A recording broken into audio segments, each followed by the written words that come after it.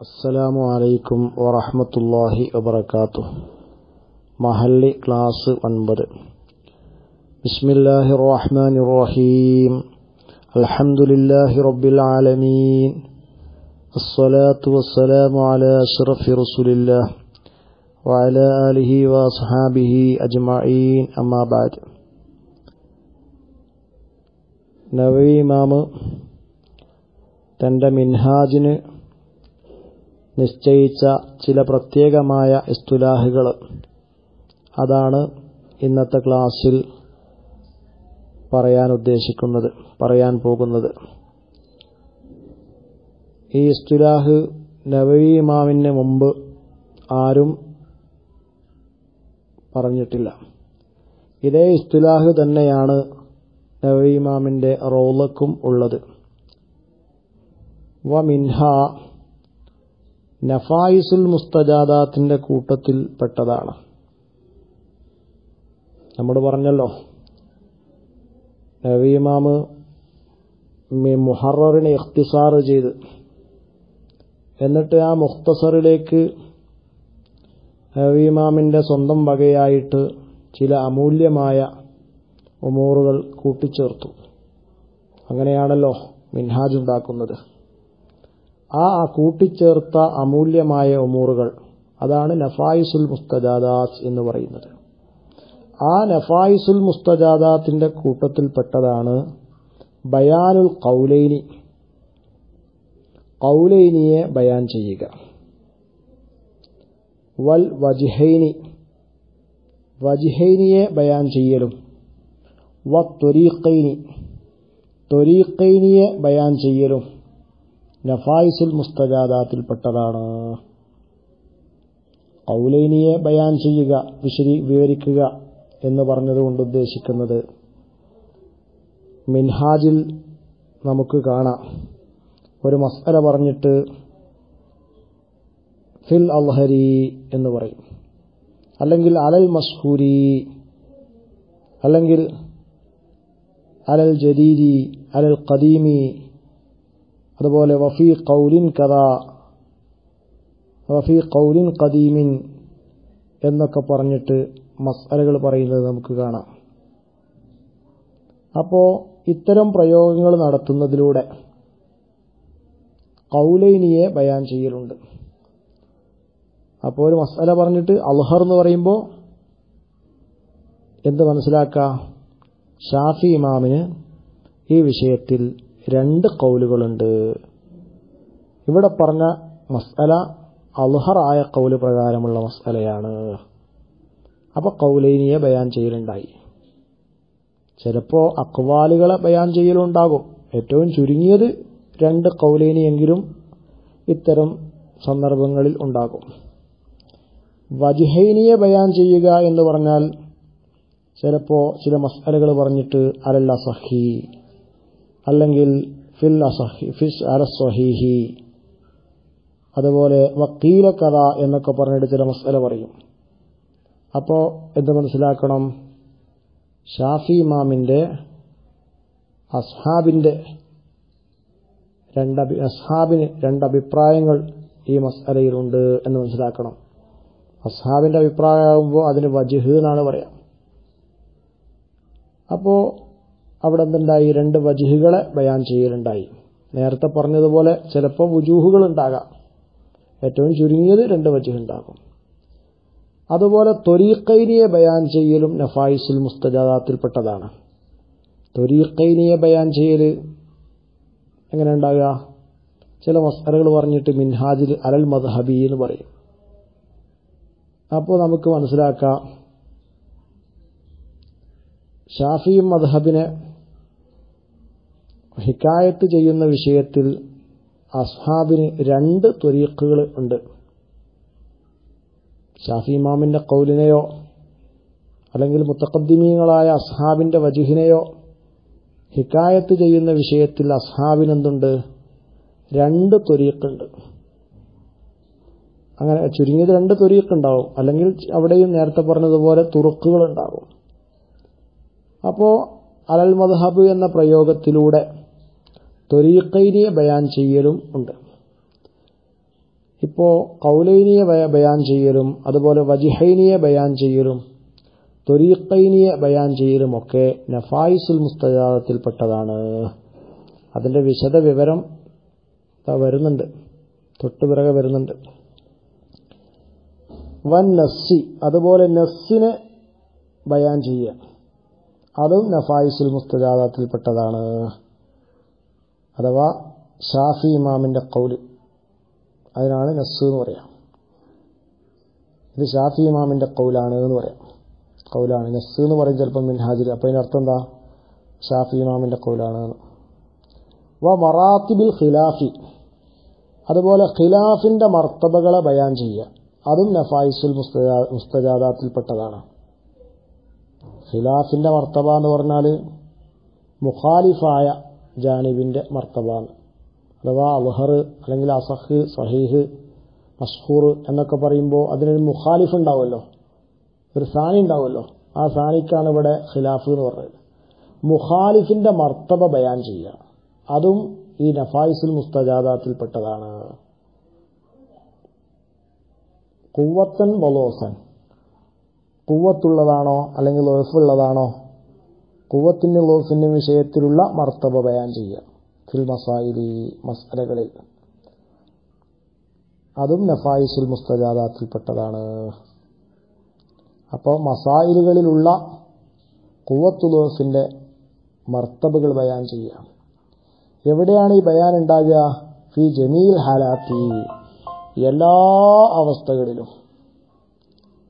എല്ലാ അവസ്ഥകളിലും എന്ന് പറയുമ്പോൾ ഇവിടെ പതിനൊന്ന് ഇസ്തുലാഹുകളാണ് ഇമാമ് പരിചയപ്പെടുത്തുന്നത്. അഥവാ അലഹർ എന്ന് പറയുന്ന അവസ്ഥ അസഹ് മസ്ഹൂർ ഇങ്ങനെ പതിനൊന്ന് അവസ്ഥകൾ പറയുന്നുണ്ട്.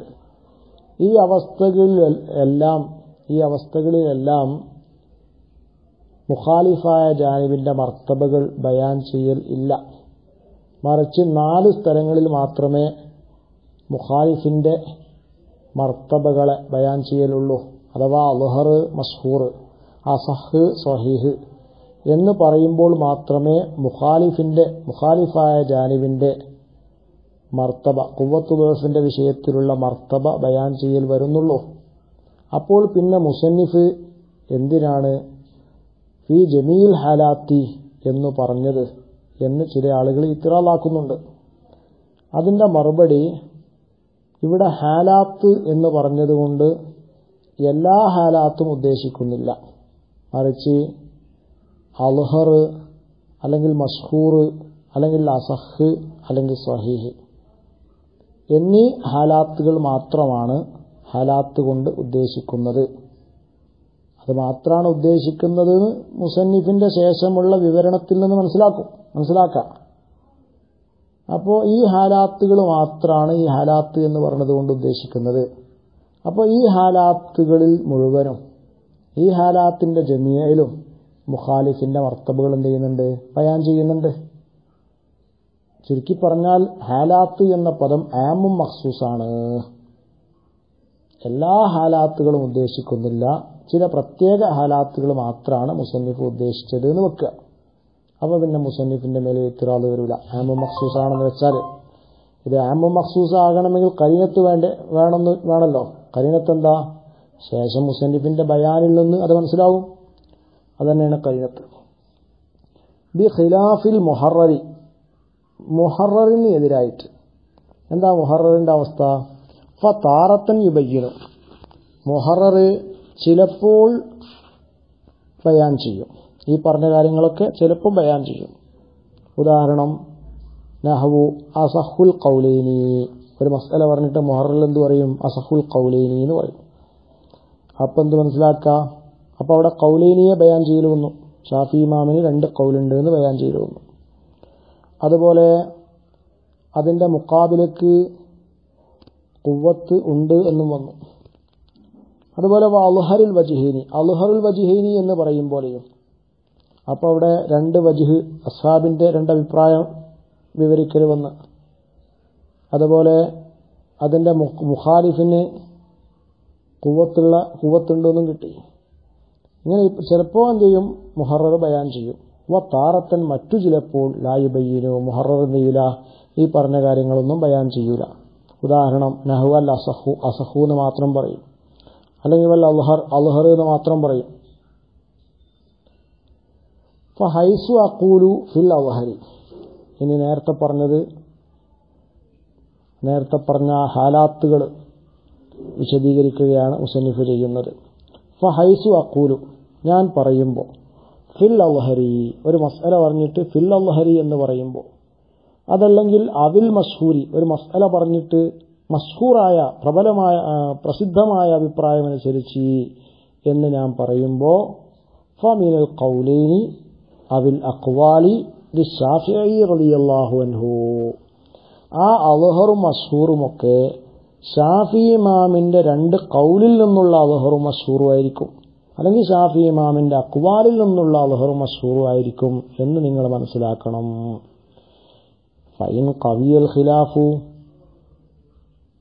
മുഖാലിഫായ ജാനിബിന് കുവത്തുള്ള സന്ദർഭമാണെങ്കിൽ മുഖാലിഫിന് കുവത്തുണ്ടായാൽ ശക്തി ഉണ്ടായാൽ എങ്ങനെ മുഖാലിഫിന് ശക്തി ഉണ്ടാകൽ കുവത്തി മുതറക്കിഹി അതിന്റെ മുതറക്കിന് കുവത്തുള്ളതിന് വേണ്ടി.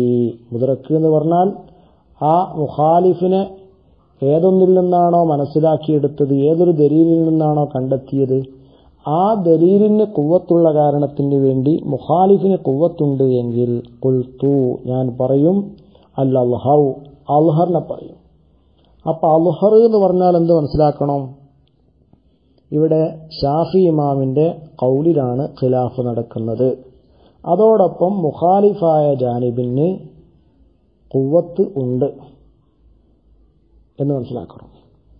എങ്ങനെയുള്ള അൽഹറിനെ പറയും? അൽ മുഷ്ഹിറു അത് അറിയിക്കും. ലുഹൂരി മുക്കാബിലിഹി അതിന്റെ മുക്കാബിലക്ക് എന്തുണ്ട്? ലുഹൂറുണ്ട് എന്നതുകൊണ്ട് അറിയിക്കും. കാരണം ഇത് അൽഹറാകുമ്പോൾ മുക്കാബിലക്ക് എന്തുണ്ടാകണം ചുരുങ്ങിയത്? ലുഹൂർ ഉണ്ടാകണമല്ലോ ഇത് ഏറ്റവും വ്യക്തമായതാകുമ്പോൾ മുഖാലിഫായ ജാനവി എന്തുണ്ടാകണം വ്യക്തത ഉണ്ടാകണമല്ലോ അപ്പോൾ ലുഹൂർ കൊണ്ട് അറിയിക്കുന്ന അൽഹറിന് ഞാൻ പറയും വ ഇല്ല. ഇനി മുഖാലിഫായ ജാനിബിന് എന്തില്ല? കുവത്തില്ല എങ്കിൽ ഫൽ മസ്ഹൂറു. ഞാൻ എന്തിനെ പറയും? മസ്ഹൂറിനെ പറയും. അപ്പോൾ മസ്ഹൂർ എന്ന് പറഞ്ഞാൽ എന്ത് മനസ്സിലാക്കണം? ഷാഫി ഇമാമിന്റെ കൗലിലാണ് കൗലൈനിയിലാണ് അല്ലെങ്കിൽ അക്വാലിലാണ് ഖിലാഫ് നടക്കുന്നത്. മുഖാലിഫായ കൗലിനെന്തുണ്ട് എന്തില്ല? കുവത്തില്ല എന്ന് മനസ്സിലാക്കണം. മഷൂർ എങ്ങനെയുള്ള മഷൂറിനെ പറയും? അൽ മുസ്ഇർ ആ മഷൂർ അറിയിക്കും. ഈ ഖറാബത്തി മുക്കാബിലിഹി അതിന്റെ മുക്കാബില അതിന്റെ മുഖാലിഫായ ജാനിബിന് ജാനിബ് ഗരീബാണ് അപരിചിതമാണ് പരിചിത പരിചയമില്ലാത്തതാണ് എന്നതുകൊണ്ട് അറിയിക്കുന്ന മഷൂറിനെ ഞാൻ പറയും. കാരണം മസ്ഹൂർ എന്ന് പറഞ്ഞാൽ പ്രസിദ്ധമായതെന്നല്ലേ? അപ്പം മുഖാലിഫായ ജാനിബിന് എന്തില്ല? പ്രസിദ്ധി ഇല്ല എന്നറിയിക്കും. അങ്ങനെയുള്ള മഷൂറിനെ ഞാൻ പറയും.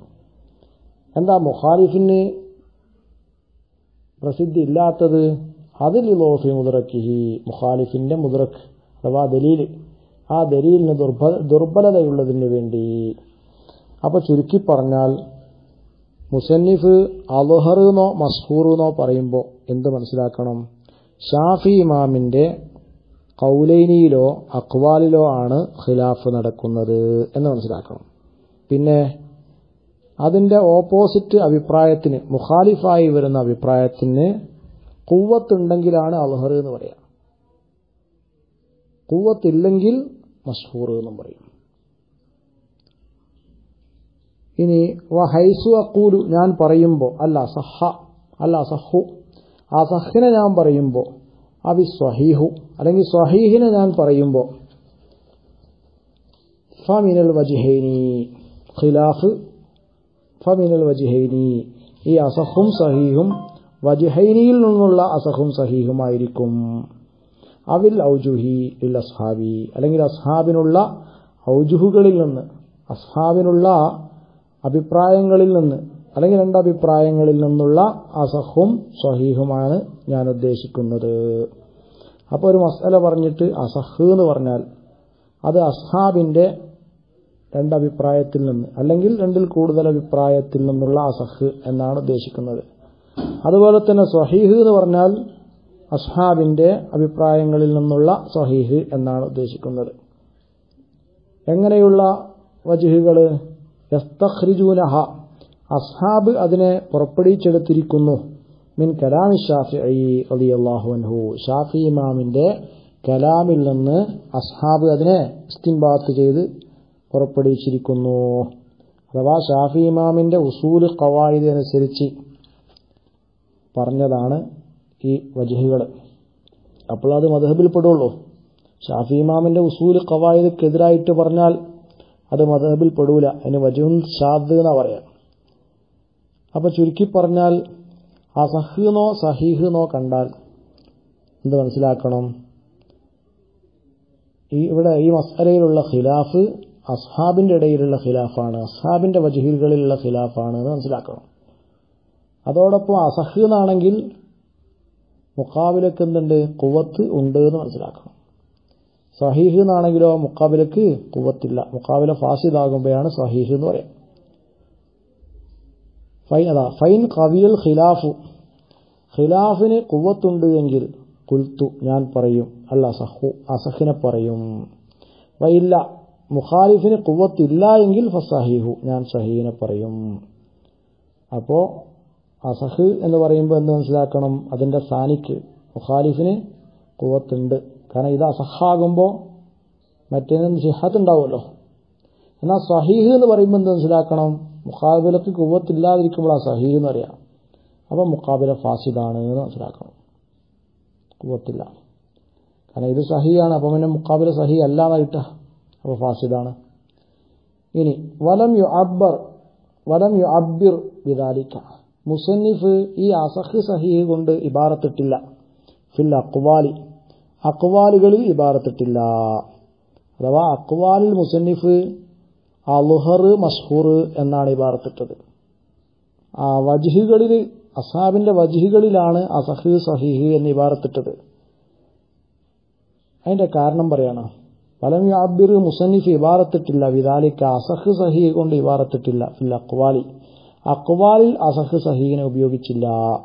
അത് തദ്ദുബൻ വാൽ ഇമാം ഷാഫി ഷാഫി ഇമാമിനോട് അതബ് കാണിച്ചതിന് വേണ്ടിയാണ്. കമാ കാല അത് നവി ഇമാം പറഞ്ഞിട്ടുണ്ട്. എന്നെ പറഞ്ഞത് പ്രകാരം. ഫൈന സ്വഹീഹ എന്താ കാരണം? എന്താ അതവ് കാണിക്കാനുള്ള കാരണം എന്താ? ഫൈന സ്വഹീഹ മിൻഹു.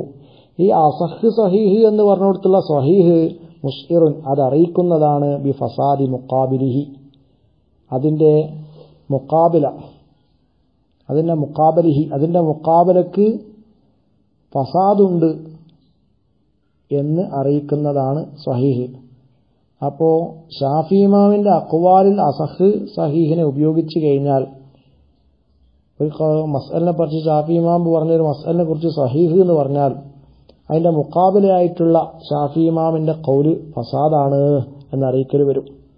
അപ്പോ അത് ഷാഫി ഇമാമിനോടുള്ള അതബുകേടാണ് എന്ന് മനസ്സിലാക്കിയിട്ടാണ് അക്വാലിൽ അസഹ് സഹീഹിനെ ഇബാറത്തിടാതെ